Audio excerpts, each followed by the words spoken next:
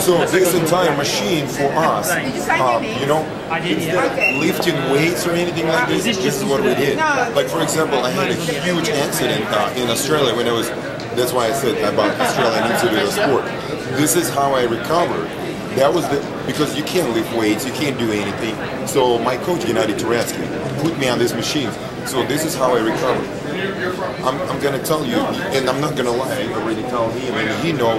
He, you can document it. A month and a half after the surgery, 86% of finger was destroyed and everything. I swim World Cup. I set the Russian national record after this. How long after? Month and a half. And that was using just the isokinetic Just, right I ran, of course, I swim, but my main lifting was just isokinetic machines because I couldn't do any other exercises. The hood was open, I mean everything. I put the, in order to swim, I put the garbage bag like this on the keyboard and I did all the exercises. That's amazing. So that that saved me.